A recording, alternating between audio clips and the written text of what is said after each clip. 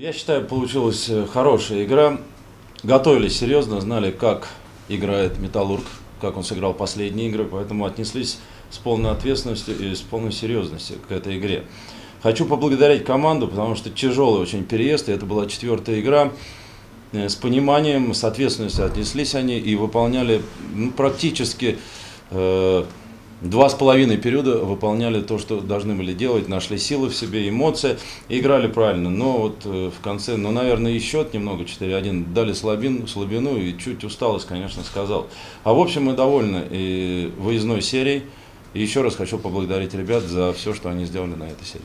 Что касается нашей команды, к сожалению, мы не показали какая-то робость, плюс усталость, с чего накопилось, не знаю. Ребята вроде бы и старались, но все было не то. На шаг отступали. И в движении, и в смысле, в голове, это как его, в техническом плане очень много брака. Ну, это как следствие 1-4. Все заслужено было по игре. Команда «Локомотив», я думаю, показала хороший очень хоккей, к которому надо стремиться нашим ребятам. Видите, один Исков только, по-моему, раз 7 упал. Поэтому Капризов, нагрузка большая у нас ведь на Капризова, на э, Казакова, на Стову. К сожалению, Стову сегодня микроматч 0-3. Вот, то есть э, такая вот нагрузка была, не восстановились или еще что-то.